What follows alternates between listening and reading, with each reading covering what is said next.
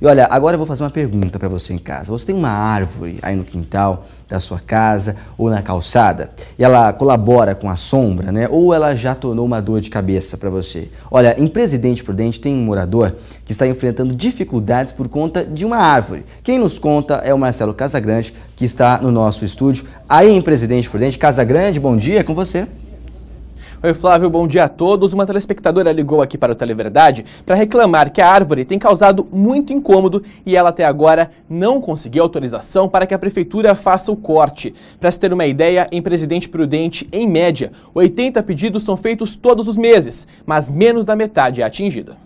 A Cibipiruna, com mais de 30 anos, faz sombra, mas esquenta a cabeça de Dona Maria do Carmo e da irmã dela. As raízes estouraram a calçada e começaram a levantar o asfalto. Problemas demais, sem contar a sujeira. Tanto para mim quanto para minha irmã que mora do outro lado da rua, porque ela está pendendo para o lado da casa dela e fora as folhas que caem em cima da casa, que entope a calha entope a casa do fundo do inquilino. Cansada, Dona Maria procurou a prefeitura em agosto do ano passado para pedir que a árvore fosse cortada. Teve o pedido negado porque o laudo emitido pela equipe técnica da Secretaria do Meio Ambiente diz que não há motivos para a erradicação, já que a árvore é saudável. Maria do Carmo questiona. Aqui quando venta dá medo. Aqui dá medo, porque ah, aqui já arrancou até o telhado, quando aqui, há um tempo atrás. Segundo o secretário do Meio Ambiente, no ano passado, 401 árvores foram cortadas pela secretaria. Foram quase 900 pedidos de vistorias solicitando o corte. Mas para que a árvore seja erradicada, segundo o secretário, há uma série de critérios avaliados. É necessário um protocolo na Prefeitura Municipal solicitando a poda.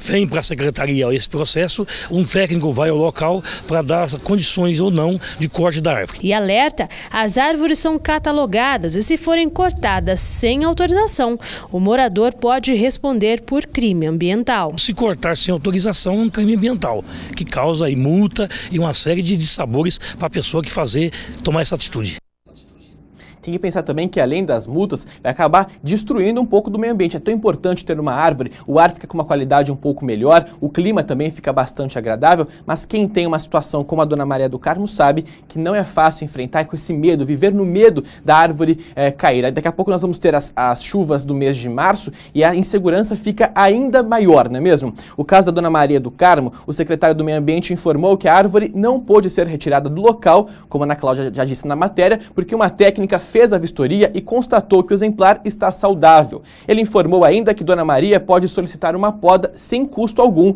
à Secretaria do Meio Ambiente. Para isso, é preciso fazer o agendamento pelo telefone no número que já está no ar, é o 18 3906 5275 ou ainda pelo 156 da Prefeitura.